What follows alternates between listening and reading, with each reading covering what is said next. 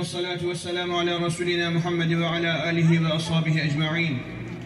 يا إله العالمين ويا أرحم الراحمين. Senin emri şerifin Resul-i Ekrem sallallahu aleyhi ve sellemin sünneti seniyesi olan sünnet merasimini icra etmekte olduğumuz bu kardeşimizi ve cümle ümmeti Muhammed'in evladını hayırlara tebdil eyle ya Rabbi. Ya İlahel Alemin bu kardeşimizi ve cümle ümmeti Muhammed'in evladını her türlü kazalardan, belalardan, musibetlerden, görünür görünmez insü cinnin şerrinden, vesvesesinden, tasallutundan sen emin eyle, sen muhafaza eyle ya Rabbel Alemin.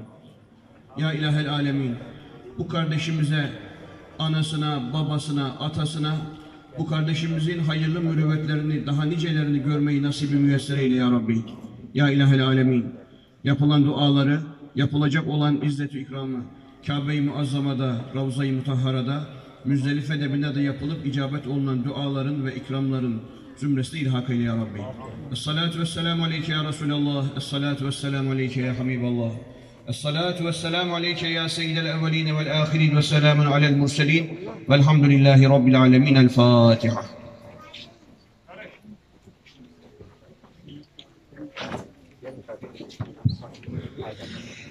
Evet, yemek siparişimiz, servisimiz başlamıştır. Tüm misafirlerimize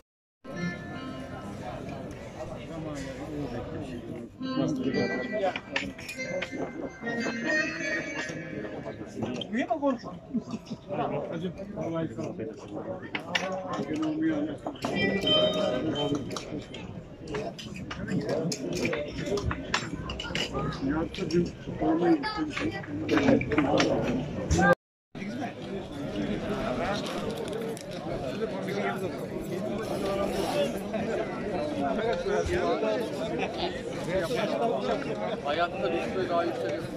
Yok. Tabii. Alors, je vais